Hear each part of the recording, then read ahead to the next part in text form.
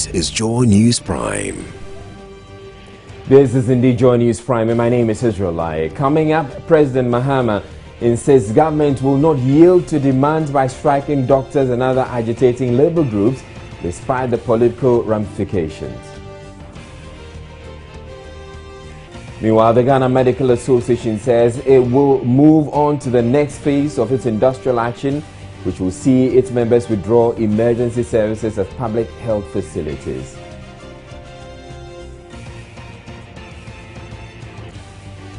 The Trades Union Congress, in a related development, wants government to investigate and punish those who lead the proposals for the conditions of service of the striking doctors. We have all that and more in the 60-minute package of the bulletin, also available on ABN television, now also free view in the UK. Stay tuned.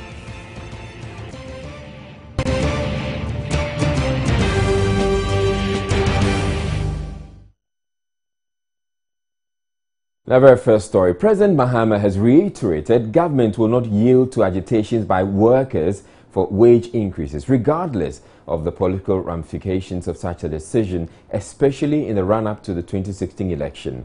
According to him, the demands made by the Ghana Medical Association will adversely affect the single spine pay policy and that he will not authorize any expenditure not provided for in the budget. The remarks by the President at the opening of a conference by the Ghana Registered Midwives Association's 80th anniversary is targeted mainly at doctors working at public hospitals who have put forward some perks they say they want to see captured in their conditions of service currently being negotiated with government. There are linkages and relativities between all public sector groups. Just yesterday, a friend was urging me to intervene and accede to the demand of the doctors. After all, there are only 2,800 of them, he told me. What he fails to realize is that there are 598,000 other public sector workers organized in 11 other professional groups lined up and just waiting to see what the doctors come away with from the negotiating table before they put in their own demands. Ladies and gentlemen, this will adversely affect the single spine pay policy and could result in breaking the spine. A lot of effort has gone into implementing this new universal public service salary structure, and nothing should be done to derail it. Ironically, I'll say that if the spinal cord should break, it must not be at the hands of a group whose principal calling is rather to heal. The right to negotiate by professional groups is sacrosanct, and I believe that government and the medical officers must continue the dialogue on conditions of service to arrive at an amicable resolution in an atmosphere that is devoid of coercion. Currently, other negotiations are ongoing on other categories of allowances at the Public Services Joint Negotiating Committee. Any agreements that are reached in respect of allowances or conditions of services would have to be appropriately captured in the budget. And I want to say for emphasis that I will not authorize any expenditure on wages and compensation not provided for in the budget. Fiscal discipline requires that not a single pesewa is spent on remuneration outside what has been budgeted for. And this goes for both Article 71 office holders and those on the single spine. It goes for the president as well as the lowest public sector employee. I'm determined to hold the line no matter the political cost. The 80th anniversary of the Midwifery Association in Ghana brought together practitioners to strategize on how best to improve their services with an ultimate goal of reducing maternal and infant mortality. President Mahama also announced plans to establish more midwifery training schools in the country to increase the number of practitioners in the field. Commencement of a new initiative to train midwives to perform basic ultrasound for pregnant women over 500 General Electric portable scan machines are being procured for nationwide training of midwives in ultrasound scanning. Over 600 midwives across the country working in CHPS compounds and health centers will be trained by the end of the first quarter of 2016. After training, they'll be provided with these ultrasound equipment to improve quality of care by early identification of complicated deliveries. Let me take this opportunity to reiterate the commitment of government to the attainment of MDGs 4 and 5. I'm aware that with regards to the availability of midwives to meet the human resource requirements for the attainment of these MDGs since the year 2009, the Nursing and Midwifery Council of Ghana has licensed a total of 5,746 mid midwives who have been posted to all nooks and crannies of Ghana and are serving Mother Ghana diligently. Now, President of the Ghana Registered Midwives Association, Joyce Gentua, wants the Labour Commission to grant them a bargaining certificate to enable them negotiate for better working conditions.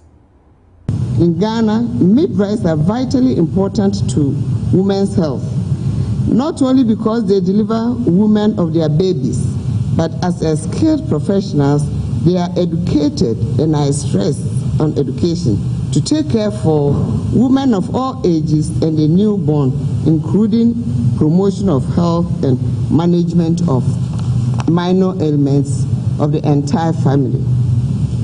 The most hard to reach health centers in this country are headed by midwives without incentives, yet these poor ladies are giving out their best to save lives.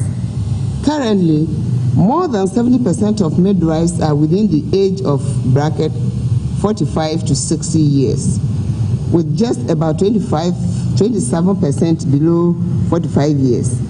Annually, about 60% health workers, health professionals go on retirement, of which 90% of these are midwives. This one to Your Excellency. The midwifery profession has experienced a prolonged birth. Midwives have always been seen as an extension of nursing and treated like a boil under the armpit of nursing. Midwifery used to be a post-basic training of, to nursing until recently, so most nurses above some age brackets are midwives as well. The midwifery profession is now recognized as autonomous profession in Ghana and we applaud the recognition. However, 80 years as a professional association and midwifery is still absurd in some circles within the health sector.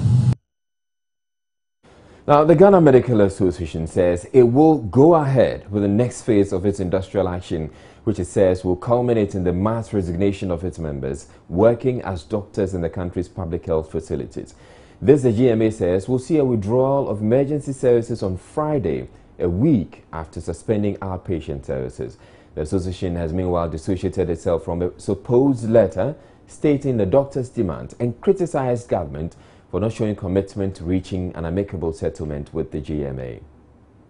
Deputy General Secretary of the Ghana Medical Association will not comment on President's refusal to yield to the doctors' demand.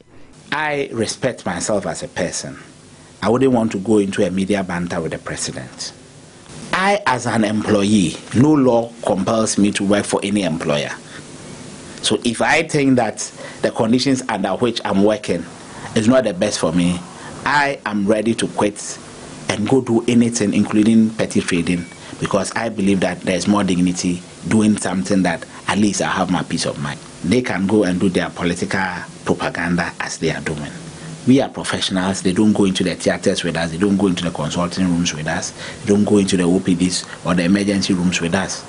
We have put what we think is fair to ask from the employer to the employer.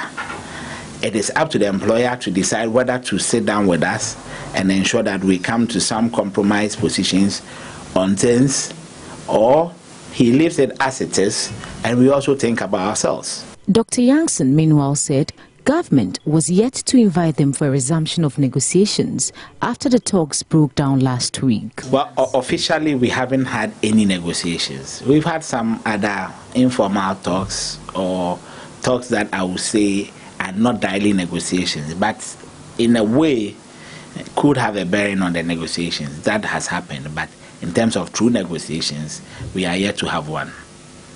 Reacting to the supposed letter from the GMA stating the doctors' demand, Dr. Yankson challenge claims what the doctors are asking for are unrealistic. We want to put on record that we, dis- we dissociate ourselves from that so-called leak document simply because we signed on to a document not to do that, and we haven't done that. So, are you saying that the content of that leaked document doesn't reflect? I said I will not give credence to anything. That is why I put in the caveat that, assuming without admitting that that was even the content, what is wrong with it? Go out there into the no, please. It is not. It is not. Please, it is not some who are saying. Go out there to the public institutions and find out what other officers are getting. Assuming we even ask for hundred gallons of fuel at the initial stage, as in the proposal subject to whatever will be determined finally. What is wrong with it? We know the backgrounds of some ministers. Some were juniors in school. Go and see the conditions under which people are enjoying whatever they are doing for the state. Go and see how much fuel is giving them. And publish that bit as well. Why didn't the government side also publish the so called ridiculous positions they presented in the beginning? The GMA, according to its roadmap, is seeking to have all its members resign their positions at public health facilities by August 14, unless an agreement is reached. Matilda Fomagan, for Joy News, Accra. In a related development, residents, medical officers and house officers of the Korle Bu Teaching Hospital have declared their unwavering support for the Ghana Medical Association's General Assembly's quest to get its members conditions of service.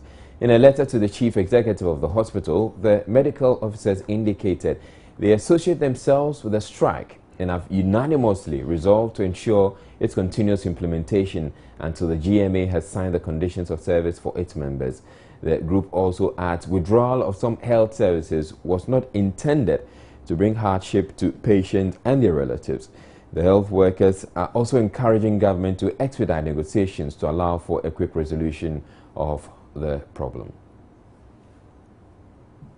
And then staying on the Labour front, the Trade Union Congress is charging government to investigate and punish those behind the leakage of alleged proposals submitted by striking medical doctors to government. The statement signed by Secretary General Kofi Asamoah says the leakage could undermine negotiations and undermine the credibility of the government. It is meanwhile calling on the striking doctors and pharmacists to return to negotiations. Meanwhile, Vice President of Civil Society Group, Imani Ghana, says the current impasse between government and doctors requires a middle ground approach. Speaking on today's big story, Kofi Bentil said if government can't meet the fair demand of the doctors, it must accept their re resignations and renegotiate new conditions which will require them to be paid hourly. This, he said, will be the beginning of a devolution process to relieve government of the burden of employing doctors we need to appreciate that what the doctors are asking for is not unreasonable. Okay. But what the president is saying is also true. Now, you get to a situation where you have two conflicting things, and we must find it within ourselves to mm. accommodate that ambivalence, mm. at least philosophically. That's right. And when we accommodate that, figure out how to work our way out of it. So the point I'm making is that both of them are right. Now, how do we deal with this? We should first appreciate that going about this as if it's a win or lose arrangement is going to just ratchet up, you know, the emotions and we will not get anywhere. Mm. What we should appreciate is this whole paradigm of government employing doctors and paying them from a central position is not sustainable. sustainable. Mm. Okay? The future will not allow us to have that. And that is not just for doctors. We have the same thing in universities, we have the same thing in other places, in polytechnics, and you know, many other places where the government is the employer. And that is why we have said over and over again, which is also why I am not surprised at what is going on, that mm. we need to respect the relationship between doctors, lecturers, and government as employer employee. Well, Joy News has learned, barring any last-minute intervention, members of the University Teachers Association of Ghana will also declare strike tomorrow, Thursday, August 6th. The university teachers are striking over government's refusal to pay their book and research allowances. The teachers say government has reneged on its promise to pay the allowances in spite of numerous assurances.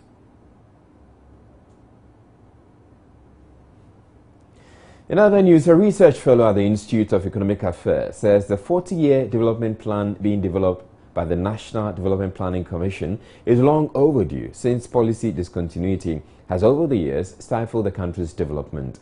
Dr. Ransford Gyampo, however, wants the president to take advantage of the constitutional review process to give the plan legal backing and make it compulsory for successive governments. Dr. Gyampo says the policy would be meaningless if it is not binding.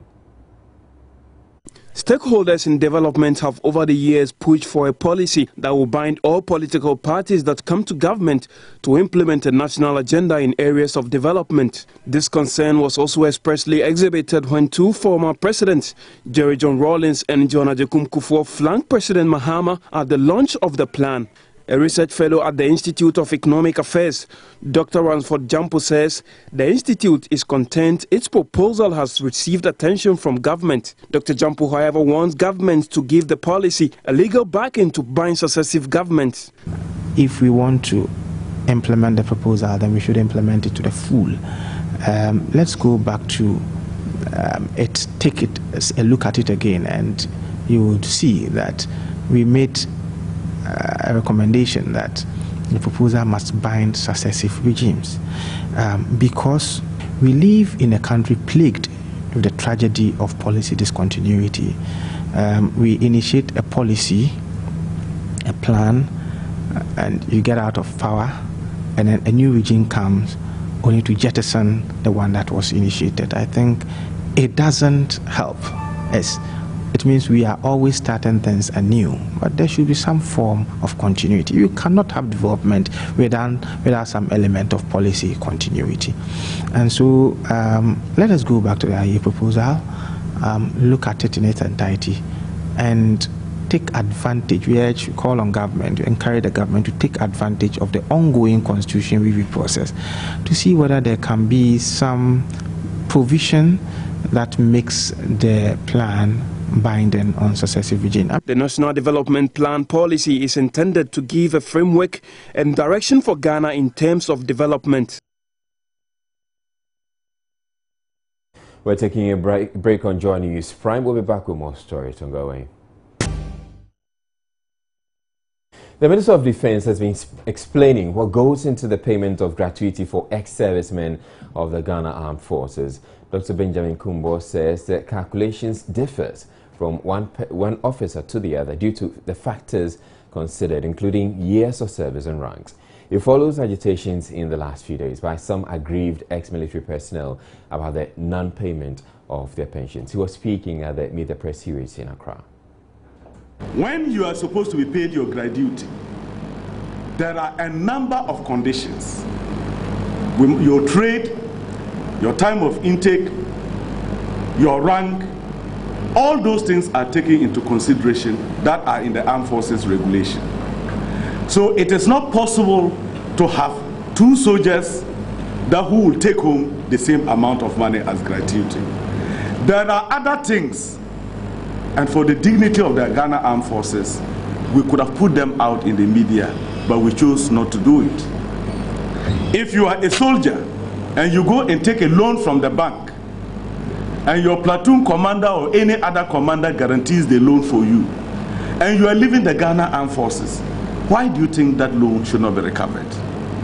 So you can enter the army the same hour with somebody, retire at the same rank, but depending on how you handle your finances while you were there, you will not take home the same amount. There is a particular soldier that indicated in the media that he was paid only 301 Ghana cedis on retirement. We specifically asked for his form, his file. We went through the file and saw that this soldier had gone home with 59,715. You see, our profession, our members of the military, also enjoins us as part of the discipline not to go to the media. It is not for want of correcting the error but it is part of the discipline of the Ghana Armed Forces. And I'll tell you that our doors are opened.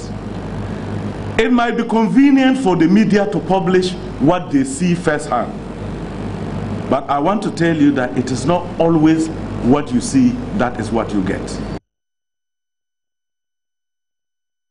Thanks to an extensive demolition exercise embarked on by the Accra Metropolitan Assembly, Accra's largest slum, Old Fadama, has been significantly reduced to just about a third the original size. The exercise faced massive opposition from both the slum dwellers and some political bigwigs who felt it could cost the ruling National Democratic Congress. But in the end, the AMA stood its ground and prevailed. It however appears most of the affected slum dwellers are unwilling to let go their claim to the land. Joy News' Redwan Karim Dini Osman, who visited the area, reports many still harbor intentions of rebuilding from the ruins.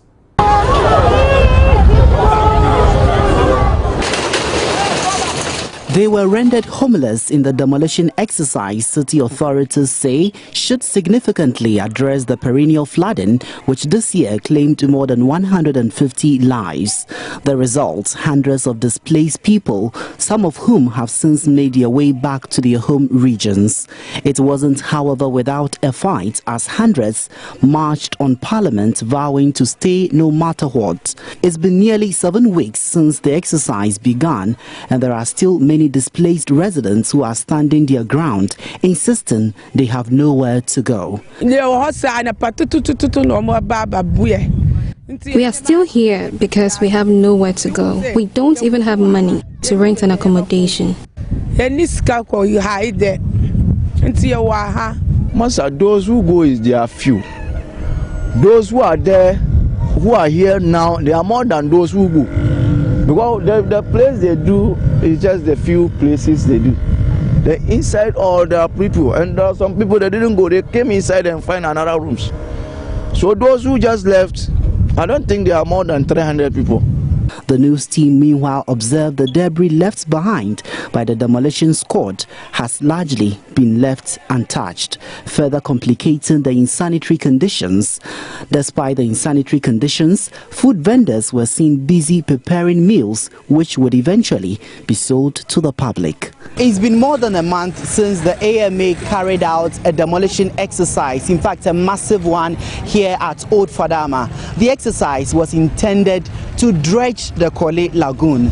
Now, several weeks on, the place is already bustling with activity. So, I ask, is Sodom and Gomorrah rising, or is it the case of city authorities being caught taking a little nap? Redwan Karim Dini Osman, Joy News, Accra. Mm. The Drug and Law Enforcement Unit of the Ghana Police Service wants the government to establish a rehabilitation center for drug addicts in the Ashanti region. The lack of such a center, the police say, is hampering efforts to evacuate drug addicts at Tinka Island, a notorious drug enclave at Alaba in Kumasi. Mahmoud Mohamed Nuruddin has more most joints accommodating some drug addicts. Some of the addicts have been in the practice for years.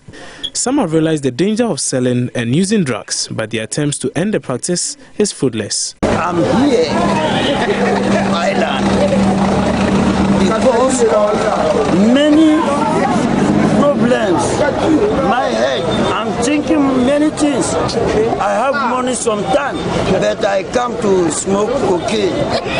Yeah. Now the cocaine, if I take out, my mind is coming down, cooling. I'm not going to disturb. I'm not going to rob anybody. If I get the cocaine smoke, my mind is down. This enclave has been a safe haven for addicts, but a threat to youth in the local communities. I have grandchildren. Because of the activities of the peddlers here, I take them to work now that they are on vacation. These drug peddlers have to be evacuated.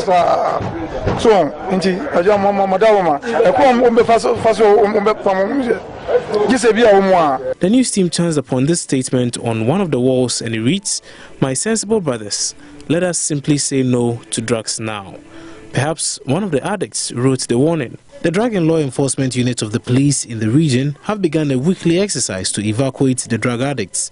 The exercise, which began on Wednesday, led to the destruction of structures that aided the peddling of drugs. Some looked on while others supported the police in the exercise. We are sacking them and we're going to demolish their structures that the landlords or ladies allow them to be patching here. In fact, I'm of the view that they are being permitted by the landlords and ladies of the area. How can you spend money building your houses like this to allow these people to come and make so filthy? And you're watching. But the police want a center established to rehabilitate and reform the addicts. Though it's very difficult to get the, the, the, the, the pushers, we have arrested a lot and put them before court. But I think they are able to sell their products because buyers are readily available. So we're coming to sack these junkies. In fact, if we are to arrest these people, uh, the government have to build a special place to keep them. They, you could see how they, they, they are looking, they look like. Until appropriate structures are put in place to deal with this need, the addicts may just continue their old ways. The Eastern Region Police Commander's Dawn arrested four armed robbers who robbed and raped commuters on the Accra Nsawam Highway. The four are said to be part of a syndicate that robbed Member of Parliament for Tyne, Kwesi Tutu, some three weeks ago. ASP Yao Inketia Yeboah is Eastern Region Police PRO. The mode of operation is they will, when they see a targeted car or truck or articulated truck, they will use a disused copper, metal rocks to hit the back or the side so that the truck driver or the vehicle driver will assume that the vehicle is experiencing a breakdown and stop. Or at times to when vehicle stops and the passengers get down to unit at secluded areas of the Accra Kumasi Highway within the Nsawam communities and uh, within Nsawam and and communities surrounding the Nsawam area, they will pounce on them and rob them. Mm. So um, this is their mode of, of, of operation. Power Minister Dr. Kwabena Donkor has assured beyond resolving the current energy crisis plaguing the country, government is putting in place measures to ensure a majority of Ghanaians have access to electricity. Though he admits the country is currently going through a crisis as a result of the power situation, he was confident government is capable of ensuring Ghanaians get reliable, safe and secure power supply. Speaking at the commissioning of a rural electrification project at Zuarungu near Bolgatanga in the Upper East region, he said government's plan is to connect 90% of the country's population to the electricity grid.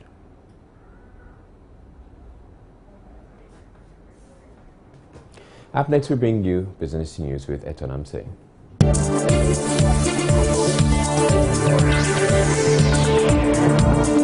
Business News is brought to you by my pleasure to bring you business. My name is Eton Ramsey. The World Bank has agreed to support government's budget with over 600 million US dollars. The World Bank believes the move will help strengthen Ghana's credit ratings and make sustainable the country's debt levels. $150 million of the funds from the World Bank will support the 2015 budget. It comes with a policy-based guarantee of $400 million to cover securities issuance of up to $1 billion by government. $45 million of the fund will also support the second phase of the reform programs government is embarking on to enhance fiscal discipline, strategic allocation of resources and efficient service delivery in the public sector. The transport sector project will also receive additional funding of $25 million from the World Bank. Uh, we are supporting uh, Ghana because Ghana is entitled to that kind of support uh, from the World Bank Group. But more specifically on the uh, instruments that have been chosen, as the Minister has said, what we have been looking at here is a mechanism to enhance the credit worthiness of Ghana that will enable Ghana to approach capital markets and benefit from the guarantee instruments in the form of much lower, uh, we hope, uh, interest rates. Finance Minister Seth Terkper, appreciative of the gesture, explains donor partners are no longer holding back their funds. The donor flows that dried up uh, have started flowing, including the World Bank uh, budget support, which is part of, you know, what uh, the agreements that we signed today. So if there is any doubt um, to the skeptics, I think this signing ceremony should show that the DP donor support that we have been talking about, as well as you know other flows, which we have said uh, the um, second tranche, once the IMF board you know approves the first review staff report, uh, as well as uh, the cocoa and other flows, are real flows to the economy and the speculation that is ongoing, and also the unfortunate talking down of the economy, I would hope uh, would uh, will change. The German government is meanwhile to also support Ghana with a multi-donor budget support of 17.31 million euros and an outgrower and value chain fund of 23 million euros, primarily to support local farmers. Now, the executive director of the Africa Center for Energy Policy, ACEP, is asking government to account for the $100 million of petroleum revenues it's claimed to have been transferred to the sinking fund.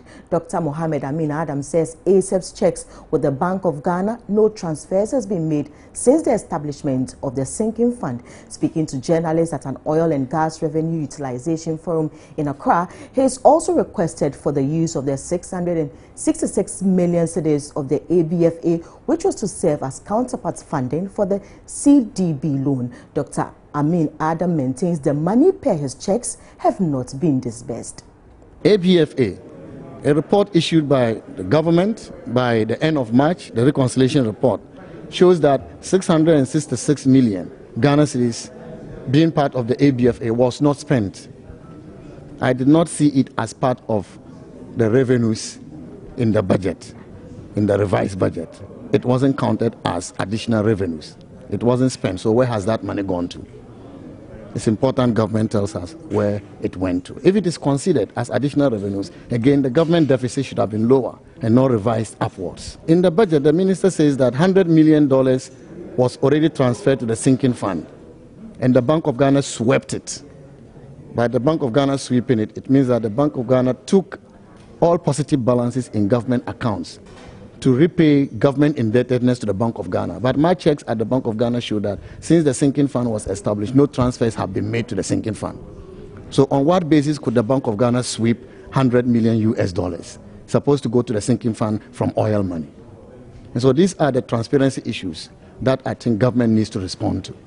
I am happy about the publishing of the data, the revenues, the production volume, the lifting, the expenditure, but I will not be happy if we cannot get up-to-date report on what happened to the 600 million Ghana cedis, which should have been spent last year, but which was not spent because the CDB, uh, China Development Bank, loan-funded projects to which this money was to be a counterpart fund was not disbursed. Now, some, some telecom companies in the country have welcomed the new mobile money guidelines, saying they will make them more competitive. The Bank of Ghana last month issued the new guidelines, which empowers mobile operators to be licensed to own and manage electronic money business using retail outlets and agents. Commercial Senior Manager for MTN Mobile Money, Eli Hini, tells Joy Business his company should be ready to implement the new rules by the end of the year. Lihini spoke to Joy Business at the launch of the 2015 MTN Mobile Money Month at the Makola Market in Accra. He lauded the Bank of Ghana's new guidelines on mobile money operations in the country. Well, um, with regards to the guidelines, it's been something we've been looking forward to. Competition helps us to be better and to serve our customers better. So we welcome competition. But the most important thing is that it also now gives us MTN the flexibility to have a subsidiary that is able to, on its own, drive uh, the mobile money agenda. MTN has meanwhile declared August as the mobile money month, and officials say there are several rewards for clients who undergo mobile money transactions. The rewards are, are many. Uh, first of all, for our customers who use uh, the service to buy or top up airtime, we are uh, rewarding them with uh, bonus airtime. It used to be 30%. For the month of August, we've increased it to 50%, so they'll get more time to talk. Then we also are giving some goodies to our high value customers who pay DSTV using MTN mobile money. MTN mobile money, meanwhile, enables customers to receive money from abroad instantly on their phones. The service, apart from the traditional money transfer and airtime top up, now offers a wide range of services, including the payment of utility and DSTV bills, payment of school fees, bulk payments, among others. And on that note, we wrap up with business. My name is Eton Amse Kwame Jumo is next with sports. Please stay.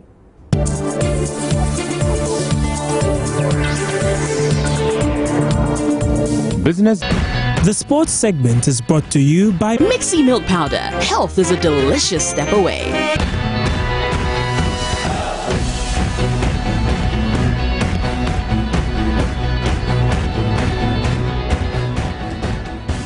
Right, it's now time for sports, and Kwame Jumajamang is here with the details. Good evening to you, Kwame. Good evening. Now, uh, the, of course, the biggest story for, for this evening has to do with the, has to be the first uh, first Capital, Capital Plus, Plus, Premier League, and uh, the biggest story, of course, it has a folks win over Liberty, and you know most people will be wondering what will be the implications of the mm. win.